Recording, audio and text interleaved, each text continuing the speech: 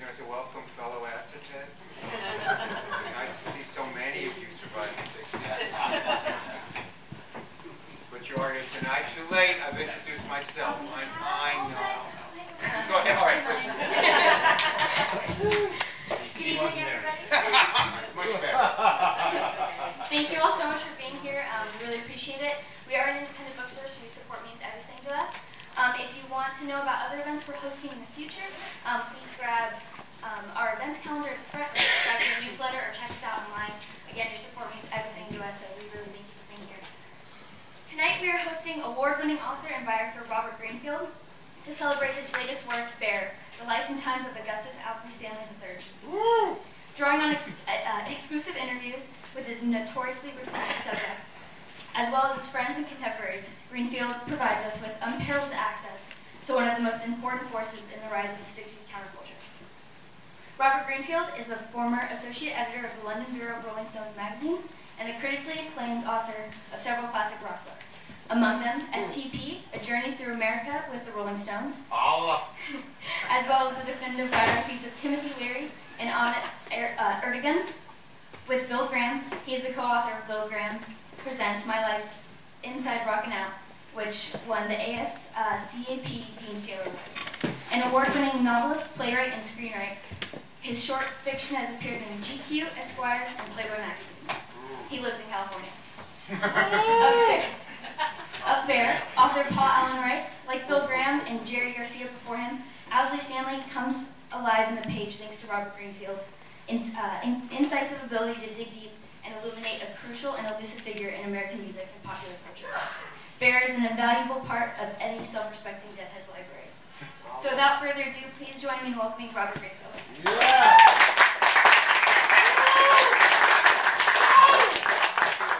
I, I hope you feel that way about me when I'm done. Thank you for that fabulous introduction. Thank you. Now I know who I am. Um, I don't mean that facetiously. So uh, I think I think it's kind of weird uh, to have written a book about somebody, Bear, and not really be able to tell you who he was. I don't feel qualified to try to characterize him or present him to you. And you know, a lot of people have said to me, Bob, why do you quote so many people in your books? And the reason is that they are much smarter than I am. Mm. So this is a concept that I'm employing right now. And this is what Jerry Garcia said about Bear. He's got enough of every kind of experience, man. There's almost nothing the guy hasn't done. You know, he's a licensed blacksmith. Not only that, he's got a first-class broadcaster's license, too. He worked for years in TV. He's also an excellent auto mechanic. He's obviously a chemist. There's almost nothing he doesn't do, or at least have a good grasp of. He understands just about every level of organization. He's just incredible. He's got some incredible capacity for retaining information. Hmm. So when Garcia said this about Bear, he was doing two years on a three-year bid in the federal penitentiary, first hmm. Terminal Island and then Lompoc, hmm. because they had finally busted him. Okay, and hmm.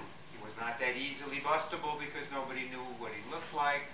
He was a mythic figure in the counterculture. Haight Street is this is there is no more appropriate place for me to do a reading from this book than on this street. You know, this street was powered by his uh, high-powered rocket fuel, as we say. But I want to tell you some things about him, which is not who he was. Things that I learned that I found were amazing. His, he comes from an astonishing family. His grandfather, Augustus Owsley Stanley, uh, served three terms in the House of Representatives from the great state of Kentucky. He then was the governor of Kentucky and then was the senator from Kentucky. He was a trust-busting Democrat who was at one point being considered as a presidential nominee to succeed Woodrow Wilson.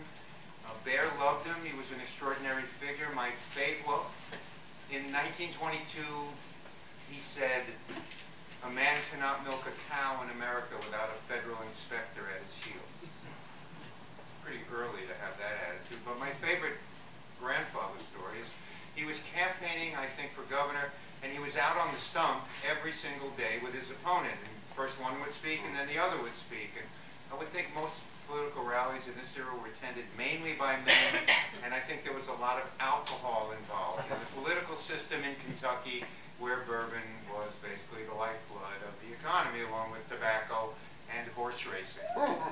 Definitely our kind of state. so one day, I'm assuming it was real hot, uh, Augustus Owsley Stanley's opponent speaks, and Augustus Owsley Stanley comes to the front of the stage, realizes he's had a lot too much to drink, turns around and throws up all over the stage. And then he returns to the front of the stage and he says, gentlemen, you will have to excuse me. Every time I hear my opponent speak, it makes me sick to my stomach. I mean, that's pretty elegant. That's, that's an elegant mind, okay? So, so Bear's father, who was Augustus Owsley Stanley Jr., was dwarfed by his father. But at the age of 37, he enlisted in the United States Navy in World War II. He was serving on the USS Lexington during the Battle of the Coral Sea, which is the only naval battle in history where the ships never saw each other. But the level of destruction was incomprehensible, actually. And the USS Lexington, the aircraft carrier in which he was serving, was blown apart and sank beneath him. He survived. He returned to Washington. He became a lifelong alcoholic who was a lawyer who spent his entire career working for the federal government, the Small Business Administration. So this is where Bear comes from. And right from the very beginning, Bear never fit. I mean, he was the ultimate rebel with and without a cause, you know, the square peg that couldn't fit into the round hole. I mean, but he was a brilliant child. At the age of three and a half, he taught himself how to read by looking at comic books and seeing the letters as ideographs. I'm trying to give you a sense of his brain. He never, it, was years before he could use a dictionary because he didn't understand the order of the alphabet. He saw letters as pictures and then could read the words. He went to live, he was sent. his parents divorced. Father sent him to live in LA with the mother. The mother couldn't control him, sent him back to the father. Father sent him to Charlotte Hall, I think the oldest private military academy in America. Uh, that's where Bear got his nickname because he was 13 and he had a hairy chest, which I guess the rest of them didn't have. Uh, and he lasted not too long because on a, like a homecoming weekend, he got the entire student body drunk at 13. And they threw him out of that school. Then he went to the high school that helped me, Shirley MacLaine and Warren Beatty went to. Does that make sense? Okay. Couldn't live with his father. Father couldn't live with him. At the age of 15, I think because he was offered this option, uh, Bear became a voluntary patient at St. Elizabeth's Mental Hospital in Washington, D.C. Also confined there at the time was the poet Ezra Pound. Who had been brought back to America after World War II to be tried as a traitor mm. because he, while living in Italy, had spoken against America, made rabidly anti-Semitic remarks, and instead of putting this quote unquote old man in jail for the rest of his life, they found him to be crazy and they put him in St. Elizabeth's, okay, with Bear. Hmm. Pound spent seven years in the institution, and when he emerged, he was asked his opinion of his native land, and Pound said, all America is a lunatic asylum. That's what this book is about. It took me a long time to so, so just to track briefly, not to give away the goods here, but you know, so then Bear, what does he do? He lists in the Air Force, and then he leaves the Air Force, and he works as a rocket test engineer, and he works in TV, and he works in radio, and none of it is really anything. He goes to see the Bolshoi Ballet, the first time they tour America in 1958. He's so blown away by the lead ballet dancer, a man, that he goes to talk to him, but the guy doesn't speak English. Bear becomes starts studying Russian, becomes fluent in Russian, and starts taking two ballet lessons a day at the age, at an age where you have no business even trying to, to do a lift or a jeté or wear a tutu or any of the above. Okay, so he comes up to Berkeley. Now we go NorCal. He's taking classes. He's been a student of everything and nothing for a long time. He's been married twice, been divorced twice. He's been jailed for a variety of minor charges, kind of really dumb, petty stuff, you know. And in Berkeley, gee, what a shock, he takes acid for the first time, okay? And he has a real trip, but it's not until he takes a half a cap of Sandoz Hmm. that he realizes what acid really is. And for those of you who lived through this and remember, and those of you who didn't, uh, Sandoz Pharmaceutical is based in Basel, in Switzerland. And in 1938, a research chemist named Albert Hofmann uh, was searching to create a respiratory and circulatory stimulant. He came up with the 25th derivative of lysergic acid, LSD-25, and abandoned. Five years later, he was going revisited it. He accidentally ingested some, tripped, and three days later took the first intentional acid trip. In history, bicycled it. Took 250 milligrams. And had to ride home on a bicycle because it was the war in Switzerland and there was fuel ration. Information that I have retained that has no value whatsoever. I mean, it's, it's LSD trivia. Okay? So, so the only way, the only way, and this will be shocking, that you could get Sandoz back then, here's who could get it. Dr. Humphrey Osmond, who was working with alcoholics in Canada, who coined the term psychedelic. He could get it. Dr. Oscar Janiger, who gave LSD to a thousand patients, among them Anais Nin and Cary Grant. He could access it. Timothy Leary, who was involved with the Harvard Psychedelic Project, obviously at Harvard, he could get it. But no one on the street who didn't have a serious academic or medical connection was able to obtain Sandoz until Owsley took it and then went to Bancroft Library, where he spent two weeks with his girlfriend, Melissa Cargill, who was a research chemist, studied research chemistry. He read all the existing literature on LSD. And then he decided that he could make it. Okay? And no disrespect to Walter White. No. Making LSD is not like cooking meth, where you blow up the kitchen in the Salinas Valley and then you go do it someplace else. It's an incredibly complicated process. LSD is incredibly fragile. It's subject to temperature change and can't be, you know, can't come into contact with water, and et cetera, et cetera.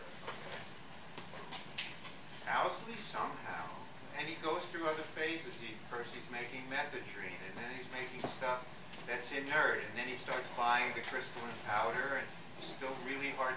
Anyway, comes back to Berkeley in '65 from LA with 800,000 doses of the purest LSD that's ever been synthesized on the street. They cost three dollars a piece. Okay?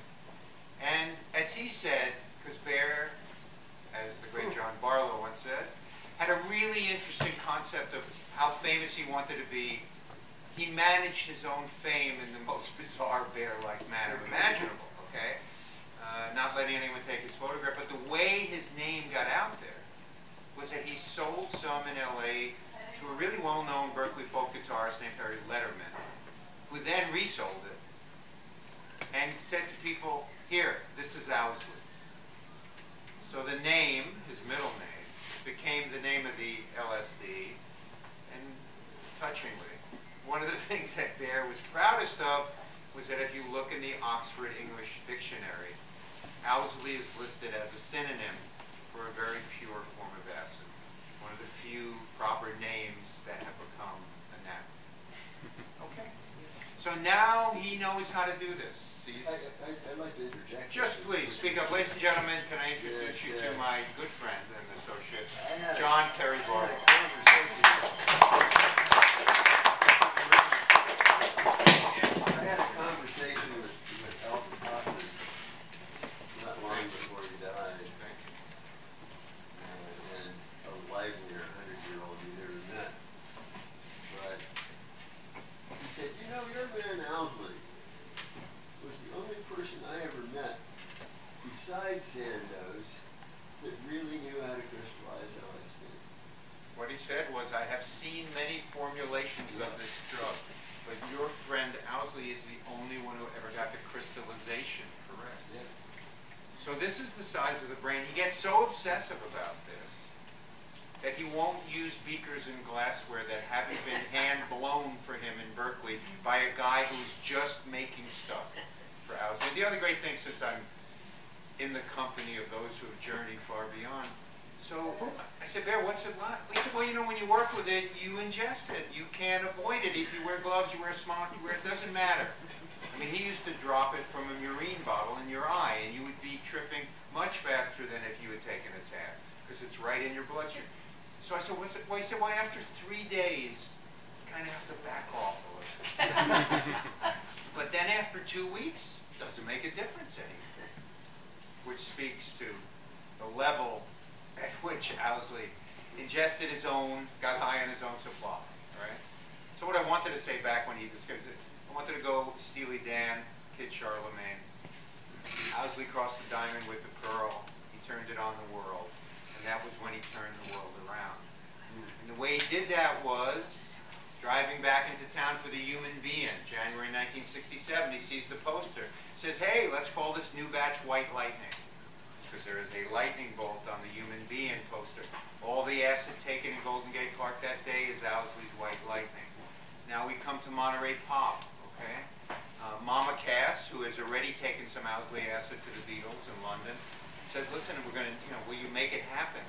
And he says, don't worry, you'll have enough LSD to make the festival work. Shows up with what comes to be called Monterey Purple.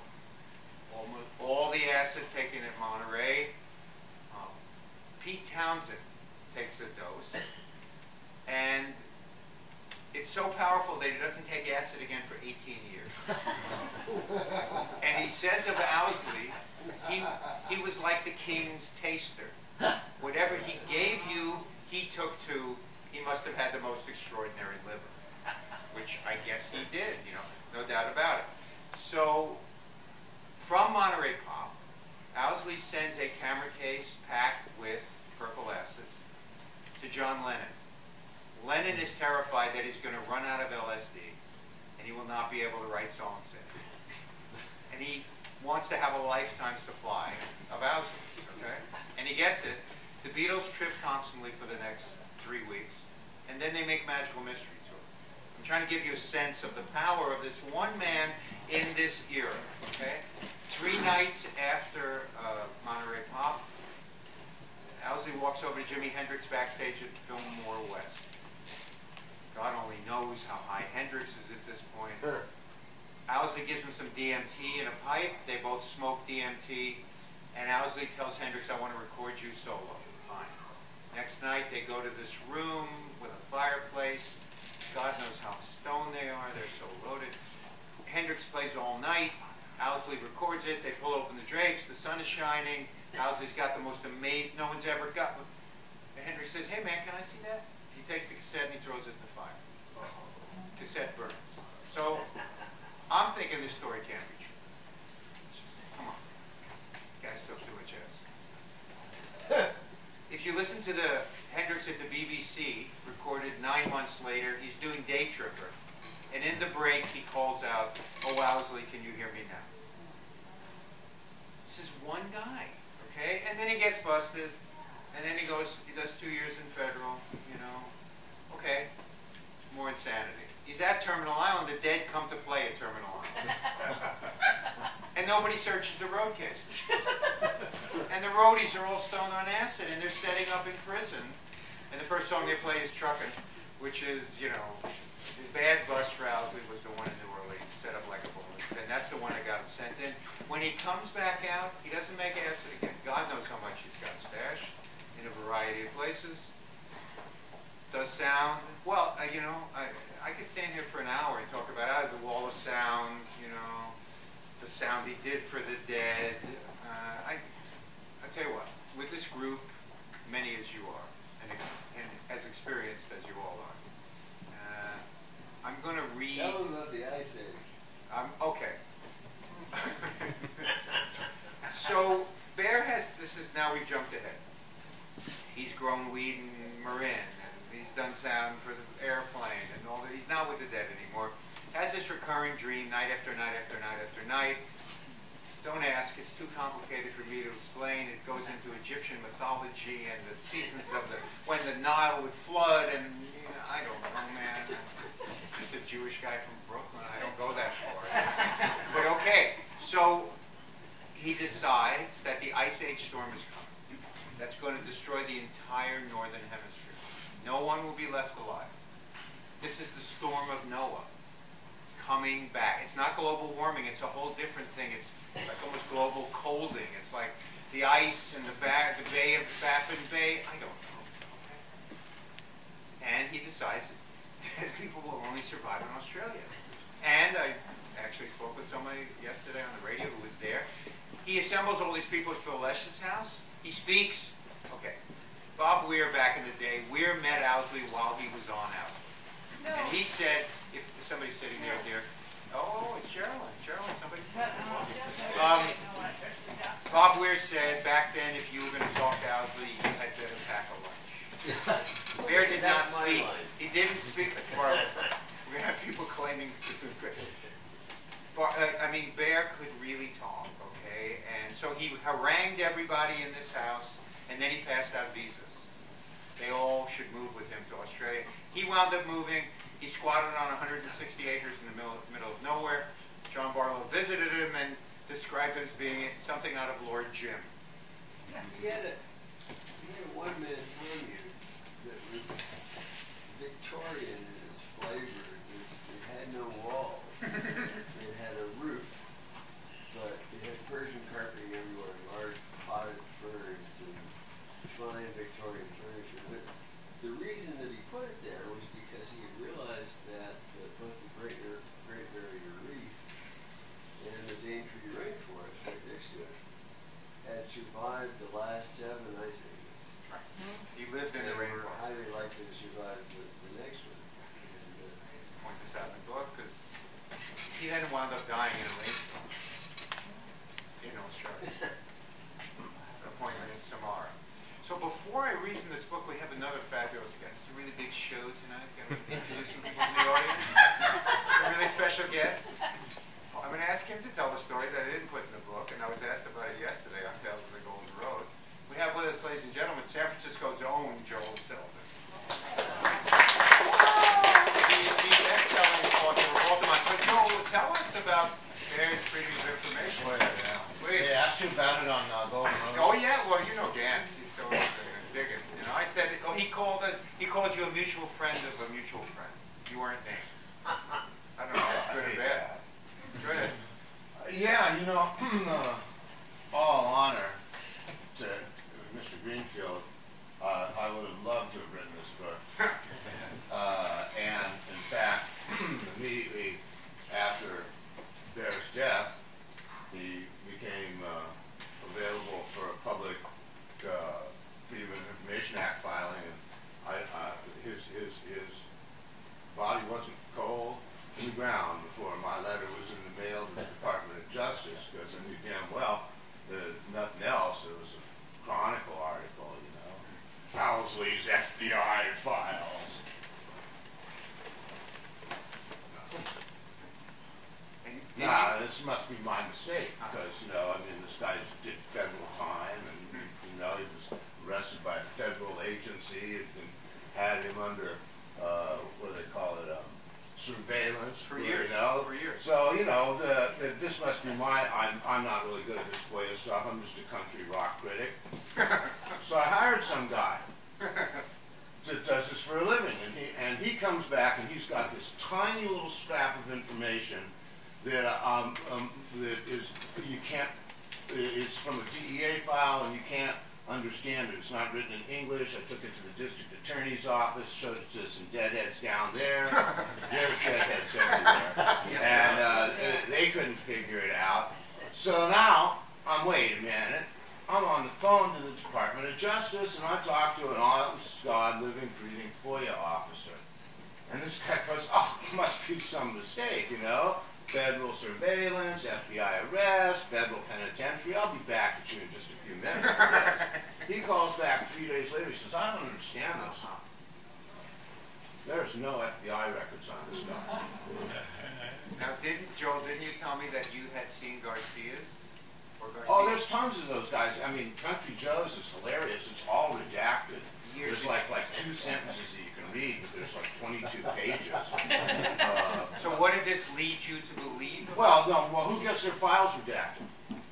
Well, to read that blacked out is one thing, but Yeah, these, these are gone. These just These are gone. disappeared, right? You know, and and and you know, Owsley spoke Russian. He was in the Air Force, and you know, Owsley was Owsley too. I'm sitting here listening to you talk, you know, and it's uh, it's so interesting. You make him sound like an ordinary human being. He wasn't. He was not. There wasn't anybody like him ever, not. ever. And uh, you know, yeah, a spy. I mean, that's the only possible, really, you know, explanation. I mean, you can, if you can think of another one, let me know. Or, or, I know, couldn't put it DM me at Facebook. I couldn't put it. In the, I could have put it in the book, but uh, uh, you know. I haven't charged her whole either. Uh, I mean, the only thing Owsley is, was a good case of a double agent, yeah. or double angel. e- Even, Triple, quadruple, yeah. even though he did speak Russian and was fluent, well, you know what? Everything he told, everything he said could have been a lie because he never would have been posted to Andrews Air Force Base in the Mojave because they didn't have the kind of satellite capability back then where you could be listening to the Russians. It's, it, but who knows? Who knows where he was posted? Where'd the Where'd the FBI file go? You tell me, and Okay. then you know you got to. I'm I'm ready. I'm ready. I'm all ears. I offer this only on Haight Street. It's a special. We're gonna take It'll be questions half in a price second. in We're Berkeley gonna next read. week. Let her read. I am. Not, let him read. Let the kid. Read. Let the kid read. Huh? So this is the uh, what we call the prologue, and actually, in his journey, this is where it all begins for Ben. This is the real beginning. Uh, the title is the Muir Beach Acid Test. Amid all the swirling madness being created by Ken Kesey and his band of merry pranksters in the Muir Beach Lodge on Saturday, December 11th, 1965, one thing is eminently clear. The guy who supplied all high-octane rocket fuel powering this event is definitely freaking out. Everyone knows this because for what feels like hours but has only been about 10 or 15 minutes, he's been making the most horrible screeching and scraping noises imaginable by dragging an old wooden chair back and forth across the floor. Had he been doing this at one of the wedding receptions that regularly take place here in this 100-foot log cabin, someone would have already long since asked him to stop. Because this is an acid test, where everyone is tripping on LSD and there are no rules. No one is about to do anything about it, even though the sound is driving everybody up the proverbial wall. On every level imaginable, the guy has already had himself quite an evening. Having never taken, having never before taken acid with the pranksters at a full-blown acid test, he has seen the Grateful Dead perform for the first time. Accompanied by a flashing strobe, a light machine, and a home movie that was being shown by two projectors at once, the sound of Jerry Garcia's lead guitar wrapped itself around the guy's mind like the claws of a tiger. Initially terrified, he then had the stunning revelation that would shape the rest of his life. The Grateful Dead are not just good, they're fantastic. Someday they're going to be even bigger than the Beatles. Although the guy has no idea how he can help them accomplish this goal, what he wants to do now is to hitch a ride with the most amazing group he has ever seen and somehow make a positive contribution to their future. While all this might already have been more than enough for anyone else, the LSD he has taken, combined with the weirdness of the prankster's current sound interval, suddenly meshed to send him off somewhere that he has never before been, losing all control of his body. He finds himself trapped in an endless spiral of utterly fantastic scenes. As Tom Wolfe will later write in the Electric Kool-Aid Acid Test, this guy has now been transported back to the 18th century, where he sees himself as a, quote, alchemist, seer, magician, master of precognition, forecaster of lotteries, stuck in a dank dungeon in the Bastille, which itself then shatters into fragments as he loses all of his skin and then his entire skeleton as well. With his whole substance dissolving into gaseous nothingness, he becomes a single cell, quote. One human cell, his. That was all that was left of the entire known world. And if he lost control of that one cell, there would be nothing left. The world would be like over. Making the guy's current plight yet even more dire, one of the pranksters geometrically increases his paranoia by pointing out some conventionally dressed guests who might well be the police. Although LSD is still legal in California, The guy is holding so much of it at the moment that he decides the time has come for him to split the scene and get the hell out of there just as fast as he possibly can. Running out the door, he leaps behind the wheel of his car and begins driving madly along the narrow, winding road leading away from the Muir Beach Lodge. In no condition to drive, much less do anything else, he promptly runs his car into a ditch. Abandoning the vehicle, he charges back into the lodge and does something that is completely unthinkable on every level imaginable by confronting the incredibly powerful and charismatic Ken Kesey about what is going on here tonight. In no uncertain terms, the guy tells the noted author of One Flew Over the Cuckoo's Nest, who is also the peerless and unchallenged leader of the Merry Pranksters, that he and his cohorts are messing around with something they do not understand. Taking LSD in this kind of wildly out of control group situation in order to awaken the part of the unconscious mind that used to be defined as containing all of the angels and devils is extremely dangerous. And since it is the guy's LSD that made all this happen, he is going to ensure that tonight's acid test will be the last one ever held by cutting off their supply. Laughing off everything that the guy is saying to him, Kesey responds to the diatribe by pinning a badge on the guy's shirt. Precisely why Kesey has chosen to do this, no one knows. Offended by the act, the guy's girlfriend promptly removes the badge, only to have Kesey take it away from her. In true prankster fashion, Kesey says, no, no. He gets to decide if he wants to wear it or not. And then he puts the badge right back on the guy's shirt. Due to the overwhelming popularity of the electric Kool-Aid acid test, Tom Wolfe's account of this freakout soon becomes the stuff of legend. In the book, Wolfe, who himself had never taken LSD, somehow manages to convey the all-out careening madness that acid can sometimes induce even in the mind of not just the most experienced user, but also someone whom Grateful Dead bassist Phil Lesh will later describe as the Johnny Appleseed of LSD. As the man in question, born Augustus Owsley Stanley III, but then known to one and all simply as Owsley, will later say, quote, Pranksters were playing around with Wolfe and he didn't have a clue. He didn't realize who and what they were. Nothing about me in that book was accurate. It was what other people said about me. I never met Wolfe, and the man never talked to me. So it was all his fantasy about it, or someone else's fantasy about it. But then in the world, according to Augustus Owsley Stanley III, only he was ever right all the time. Thank you.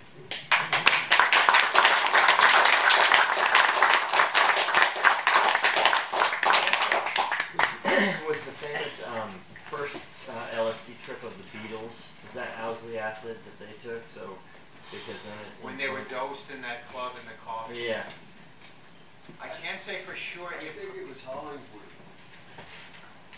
Pretty sure. Thank you, Mr. Barlow. So Leary sent, Michael Hollingsworth wrote a book called The Man Who Turned Around the World. It turned out to be Jesus Christ. not- He's wandering around the planet. He was- mayonnaise jar full of Belgian FLSD. Brilliant, that's exactly Turned right. About half the planet. He was sent to London by Leary and he created the World Psychedelic Center, I would think. But that was Sandoz. That, Oh. Hollingsworth had gotten it from Sandoz. There was no place else Hollingshead. you could get it. Hollingshead. Hollingshead. Hollingshead. Sorry, I have a brain There was no word to it. Forgive me. Michael Hollingshead. Thank you, sir. So, Thank you. anybody else, I hope? So, framed by what Joel said, um, uh, you go very quickly in the book of Owsley gets this knowledge Right. Of being able to make it, but it's the hardest thing in the world Right. to synthesize. No idea. Nobody else can do I it. have no He, okay, but that, I mean, but you gotta wonder a little bit, like Sasha Shulgin, Right. any, but somebody Sasha have- Shulgin was a serious chemist. Okay, here's what I, I mean, Melissa Cargill, she had the tools. She knew how to do the stuff practically. What Owsley always said is, I'm not a chemist, I'm a cook. You could, it's a recipe. You can bake it up. What he had was, as John could tell you, or anybody who ever met him, most one-pointed, compulsive, obsessive compulsive. He could folk if he was fixing a wire in the middle of Dark Star with Jerry's. Jerry was going to wait until he fixed the wire. Nothing could just. So I think it was that focus, with the knowledge and with her practical and his desire to make it. So you don't think someone him? You don't think somebody No one could have. No one could. Sasha Shulgin wasn't. A, it's 1965, bro. He came back from LA in 65 with 800,000 doses. There was nobody, I mean, you know, it's whole, there was no internet. Sorry. couldn't call, couldn't call. As, as regards to Beatles, uh, I, I took the Dreadful Great up to Nova uh, in June of '67, right during the middle of the Six Day War. Uh, it was a mighty time, and uh, I just heard the play that was done at a place called Champagne Ago in New York. Great, really. Uh, and Sergeant Pepper had just come out. And we all knew that, that was probably an important item. We took a look at the cover and thought, whoa. So we, we saved it until we got up to Millbrook. And that evening, we, uh, we, we gathered in the music room library and played the record front to back. Nobody said a word, and when it was all over with, Tim Tim Leary. he said, "My work is finished." I'm done. I don't need, it's out. Little did he know he was right. He was right. Thank you, John. Yes, sir. It, it seems like it's sort of common knowledge that uh, Magical Mystery Tour was you know influenced by acid. So how much earlier than that w- was the first episode with LSD with the Beatles? In other words, Sergeant Pepper or Good question. No, earlier? I no, didn't- no. I You missed gotta keep going back. You gotta Revolver, Rubber Soul. Rubber Soul. Really? Yeah. Rubber Soul is the first acid album. You can hear it. I mean, as soon as you hear George playing sitar, you know they took acid. no English boys in London were playing sitar until they took acid. They're, You know. So yeah. So yeah, they've been using it, and Lennon is terrified that they're going to run out. You know. And, and, I mean, Magical Mystery Tour is completely easy. It's their version of the bus. You know, they're on the road and they're on the road in, in England. And how about the influence on the Stones? I mean, um, Jagger sort of portrayed in methodological terms or not as being kind of a control freak and Here's, not it's, a being. good, it's a really good question. Were they also into acid as much? Okay, so you know Jagger is the great shapeshifter, and so the Stones make their psychedelic album, uh, Her Satanic Majesties. Thank you. It's one ten thousand light years from home. Dandelion, you know, roundly considered to be the worst album the Stones have ever made. Right up there, terrible. They they're laughed at. You know, they they're is. yeah. They, Yeah, they they think I'm not down. There's a lot of good music on it, but they're you know they're they're following the Beatles. The Stones' "Love, Peace and Flowers" thing was already over because they got busted first.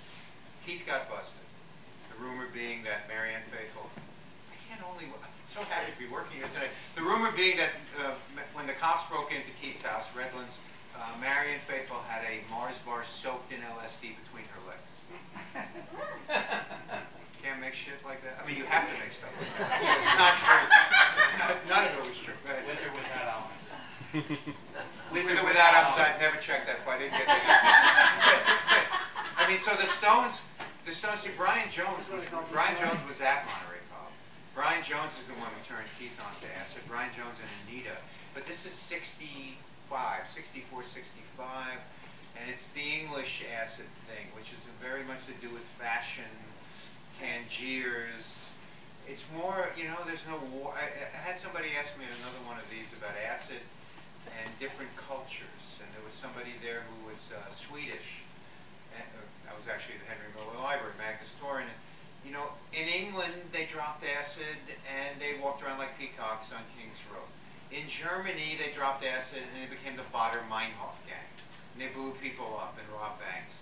So, uh, you know, Leary talked about set and setting. The drug itself, what it does to you, it's a lot like what it is you were looking for it to do you. Yes, sir? Um, I- I remember reading a long time ago about the, the evolution of the consciousness beyond acid and beyond further, beyond further. You know, I was wondering if you had any comments on that. Oh, it's 1965 is 50 some years later, Right. and, and we're still traveling. We're beyond further, and we're beyond acid. And what is where's your consciousness gone? I, I thank you. It's a great question. I mean, in that period, I was late for all this, but what seemed to be the next stage was when Richard Alpert came back as Ram Dass. And he was talking about getting high without chemicals through meditation, you know, solitude and, and yoga practice and all of that.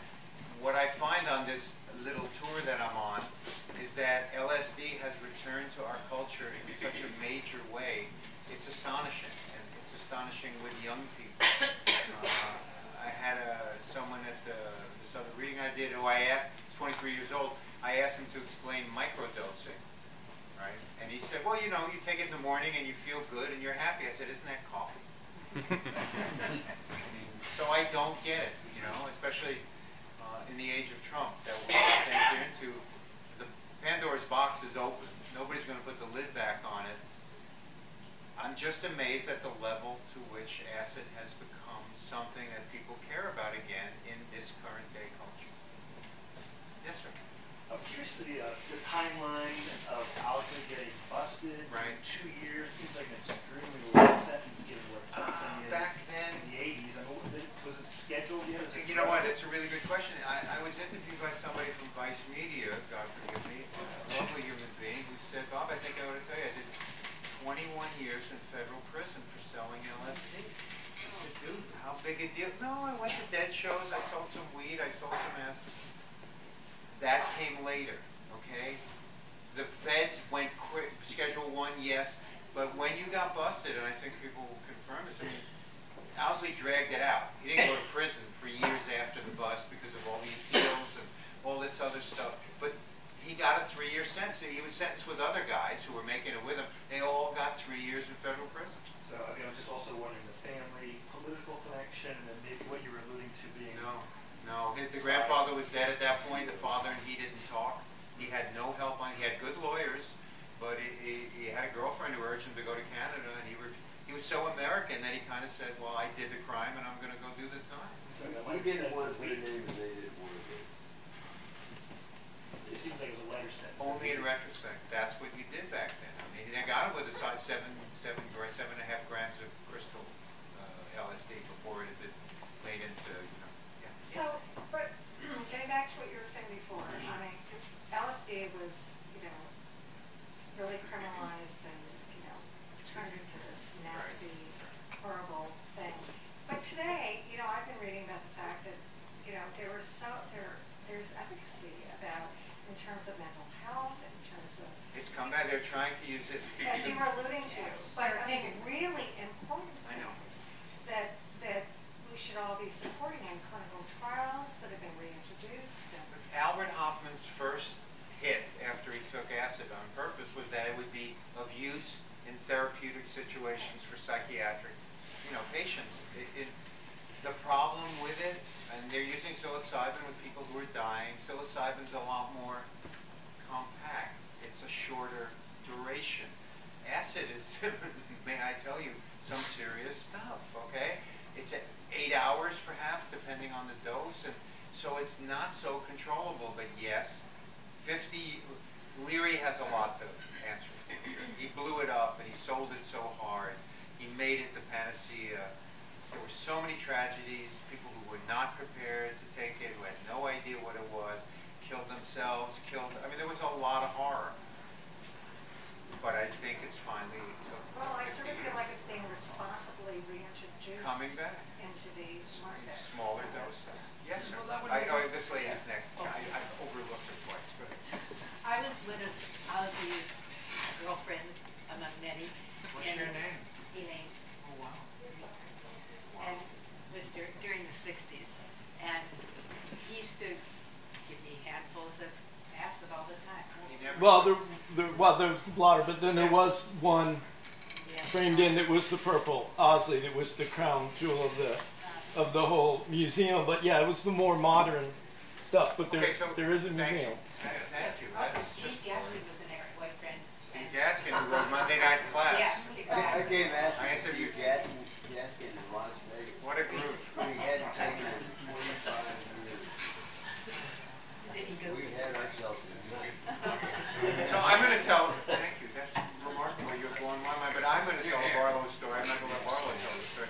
So Barlow and Mountain Girl. I don't even have to say who that is. You know, they're, they're at uh, one of these Grateful Dead reunions at Red Rocks many years ago. Alpine Valley. Alpine Valley, I stand corrected. And Bear has some uh, acid that he hid in a tree trunk in Marin.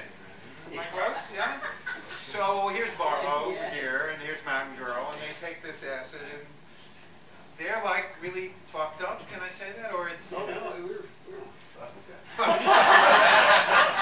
Ah, and, and Mountain Girl says to we John. thought of ourselves as veterans far past the ability to get that fucked up. Right.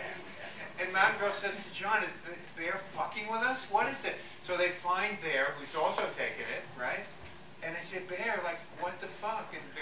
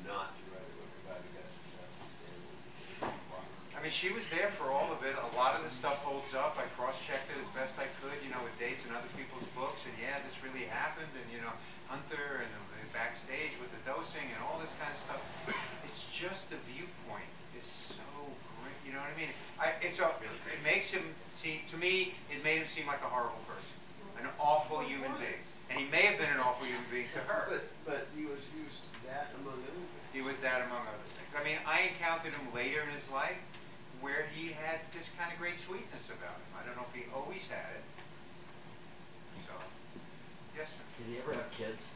Yes. Oh, He had two with two women who, you know, and then he has, uh, I expected his son to be here today to confront me once again about not having given him all the money for the book and then have not let him control the book, but he didn't. He has a son named Starfinder. He's. And he has a daughter named Redbird. And They're all in Hawaii. Starfinder lives in California and Redbird lives in Yeah, Australia. no, they just went on vacation to Hawaii. I'm Oh, they're- they're- Cheryl, I What do you think he would say about kids and taking LSD? You know, you don't really know what you've written until other people start writing about it. And somebody wrote about Owsley was not even a hippie. You, you said kids taking over? Kids. Yeah, just like okay, 20 years or older.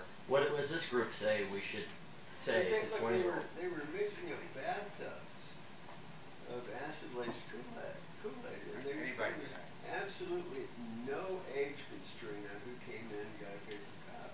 But, you know, the 60s were over the top. It's not like everything done was brilliant, you know. But we're, we're like the elders looking back. And so what's the wisdom, collective wisdom I don't think? Bear would have espoused it, you know. I, I, I don't know what a kid is. I mean, what age are we talking? 20, 20 plus. Oh, fuck. You know, you're old enough to fight. You're old enough to take LSD. But yeah, as a parent, you say you really should in your life.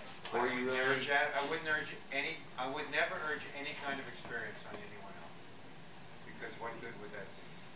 I have been given a time limit, which shocks me. But uh, we're getting close to it. I take one more question, two more questions.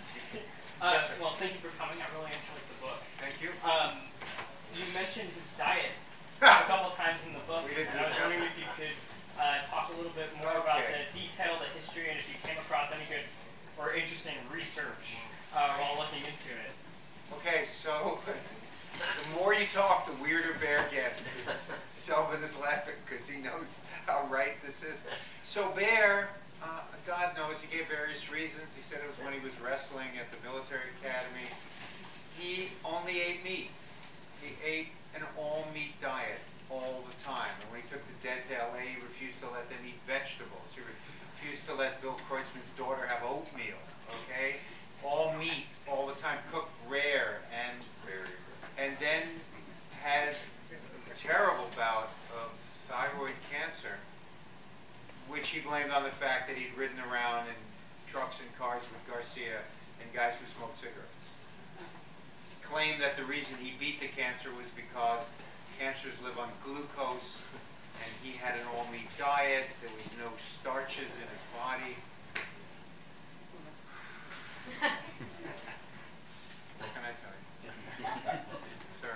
Yeah, uh, Owsley, did he ever talk about any experiences being spiritual when he took the acid? Because when I read your book on Leary, which was very good, I was really astonished by how someone like Leary and Grace Slick could take acid almost every day, not have any spiritual experiences. And then you look over at Ram Dass and hear somebody who has. So is that the divi- division between people, do you think? I don't know if it's division between people. Bear did have, I I don't know if you would call this a spiritual connection, but his text was the Kybalion, which is this, uh, you know, odd book, uh, kind of, that's still in print, written by guys under a pseudonym. Uh, and I'm blanking on what it's actually, you know, uh, as above, so below. It's, uh, you know, the stuff that Crowley espoused as well. The, you know, alchemists. As Bear said, alchemy was never. Emerald Tablet. Yes, that is. Well, I don't know if that's in there, but it's not. Bear said that uh, you know uh, alchemy was never transfer, transmutation of lead into gold. That was only when the church came in. It was a spiritual transformation, and that book kind of explained to him what he had experienced on LSD. I don't think he was particularly spiritual. He was, he was so rational. Oh. That thinking brain was so immense that you know that often cuts out. This is kind of leery He too. wasn't spiritual at all. It was- the only person I knew in that scene that was even less spiritual was Tim Leary. Right. Who had no discernible soul. Well, you just said Yeah, that. yeah, What- yeah. Most So he never even he never mentioned Jung. Carl Jung didn't strike him then as the alchemy idea. You know, I, I I love to quote Alan Watts on this. Alan Watts said, and I don't think he said it to Leary, once you get the answer, it's time to hang up the phone. So if you're taking LSD the way some guys are drinking whiskey, you're not doing it to have any kind of revelatory spiritual experience. Um, ha- here she comes. Come on back. Well, we can take, there's one more short one. We No, I think we're done. Okay, well, thank you so much.